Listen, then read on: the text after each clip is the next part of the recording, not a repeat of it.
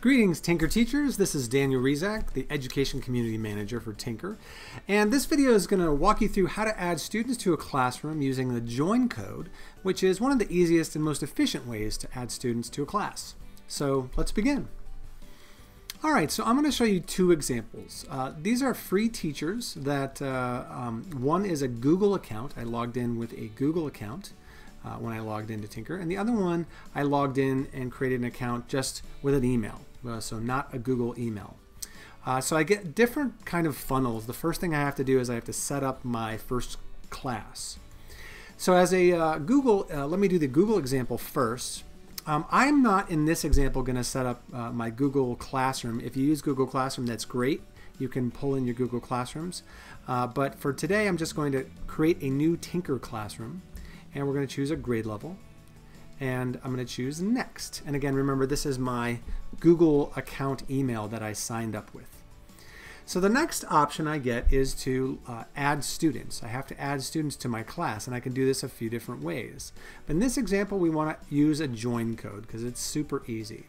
When I click on that I get this join code and I'm going to go ahead and write that on the board. All right. Now I need to tell my students who I also would like to log in with Google. Uh, I want to I want to have them log in with Google, and then they're going to type this in uh, in their account. So let me uh, let me show you the student example. Okay, now I'm going to tell my students to go to tynker.com and to sign in. All right, so even if a student has never created, or if you haven't created a Tynker account, uh, if I have a student sign in with Google, then here's what's going to happen. I'm going to choose my student.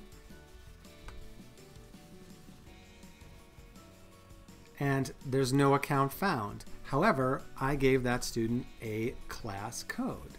So I'm going to tell the student to type that right in there and voila.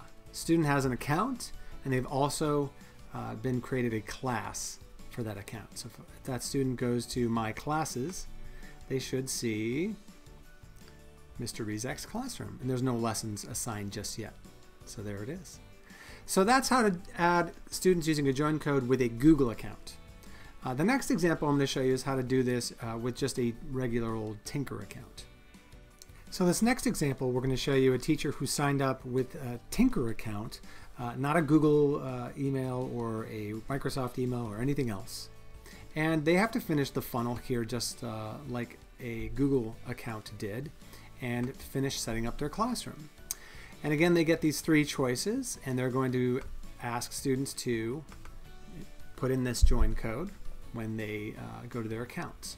So let's again look on this on the student side as students uh, log into Tynker. So now I'm going to sign into Tynker, and I'm going to do this as a student.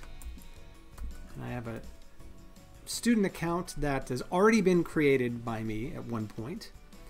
Uh, and this student is going to go to My Classes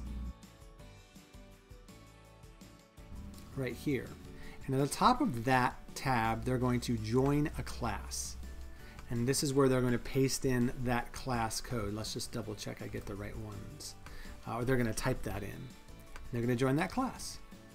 They've joined successfully. I can refresh those classes. And now that student should see that class right there. So let me go and uh, refresh this page. So now you can see I have a classroom dashboard uh, that has no, um, I don't believe I added any lessons or it auto assigned a couple of uh, free courses for me.